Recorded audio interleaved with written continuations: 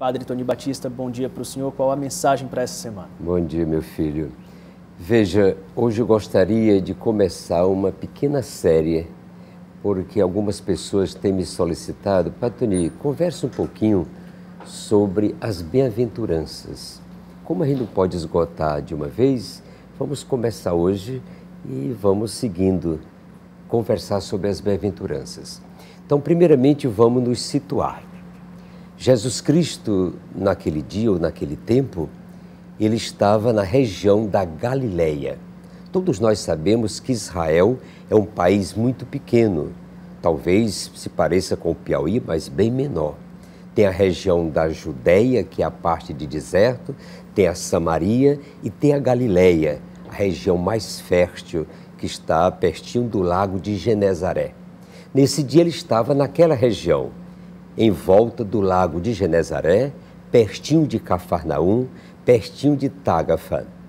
Quando de repente ele vê uma grande multidão. Com aquela multidão, ele sobe a montanha, que hoje nós identificamos como sendo o Monte das Bem-aventuranças. Quando ele sobe a montanha, ele se senta e começa a falar para aquela multidão, para aquele povo, para os seus discípulos. E ele começa dizendo: Bem-aventurados os pobres em espírito, porque deles é o reino dos céus. Vamos tomar algumas palavras deste primeiro trechozinho para se entender melhor as bem-aventuranças. Primeiro, Jesus Cristo viu a multidão. Isso é muito importante para nós cristãos percebermos. Ninguém está fora do olhar de Deus. Todos nós somos objeto, diríamos assim, do carinho, da procura, do zelo e do amor de Deus. Nada na nossa vida passa indiferente a Jesus Cristo. Tanto as suas alegrias, suas gargalhadas, como suas dores e seus sofrimentos. Por isso, ele vê a multidão. E quando ele vê a multidão, ele sobe a montanha. Subir não é apenas chegar lá em cima. Subir é a nossa vocação. Por exemplo, se você se lembra do Fernão Capelo Gaivota, ele diz: Nós não fomos feitos para voos rasantes, nós fomos chamados por Deus para rasgar o horizonte, para subir. Só que esta subida não significa numa escala social, de aparecer na mídia, na crônica, ou ter muitos bens, se tornar rico, mas subir significa a minha realização, o meu ser. Eu tenho que crescer em todas as dimensões para de fato subir. Depois ele se senta. Que bonito o gesto de sentar. Sentar significa autoridade.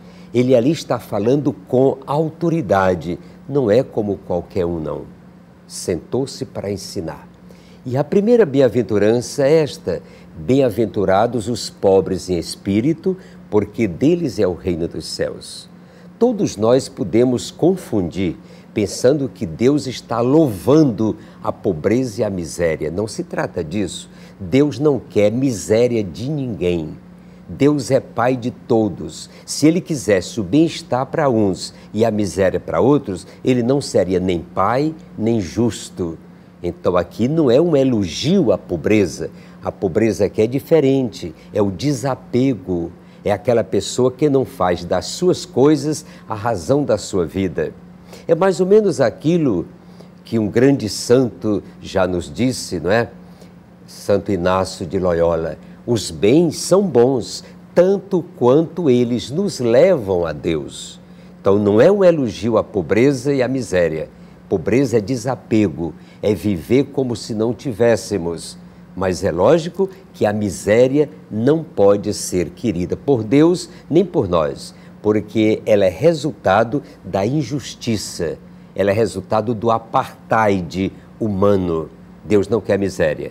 Mas agora nós poderíamos nos perguntar, tomando aquelas diversas expressões que eu falei: será que eu vejo os outros como Deus nos vê?